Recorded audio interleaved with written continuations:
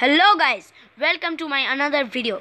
And in this video today my another friend named Orkapabu Goswami is here with me. So he is going to talk about the Deathly Hallows and the three brothers story in the Harry Potter.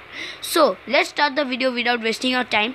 And before watching this video don't forget to subscribe my channel Gaming Fever UK and if you find this video helpful so like and share this video to other your other friend so let's start the video The Deathly Hallows had three parts. The first of which is the Elder Wand. Elder Wand was the strongest ever wand ever made. It was given to the first brother who greeted, the, who wanted to be, the, who wanted to have the strongest ever wand ever made. That night, the second first brother was killed by another person who had stolen the wand and killed him. Thus, the first brother died due to hunger of power and greed. La- later, Lord Voldemort also had got the Elder Wand. He too died for power and greed by and was killed by Harry Potter at last.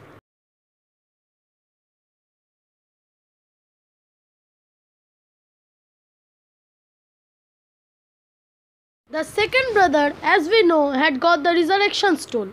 He wanted to humiliate it and he wanted brought back his loved one.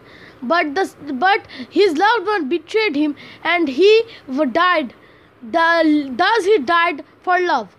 Later, another person had the uh, resurrection stone, and he was Severus Snape. Severus Snape, as we all know, was the lover of Harry's mother, but he's but Harry's mother married James Potter, and that's why he all too died for love.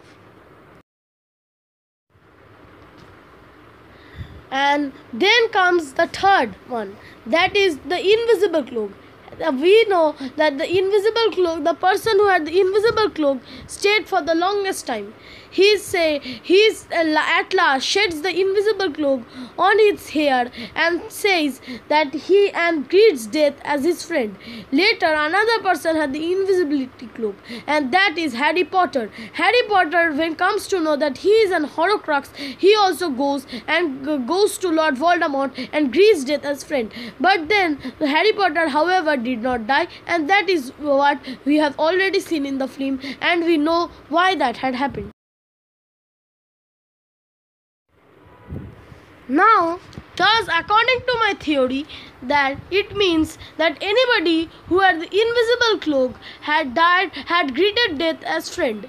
Anybody who had the elder wand had uh, died for hunger of power and greed. And finally anybody who had the resurrection stone had died for love. And that ends my theory. That ends the true meaning of the deathly hallows.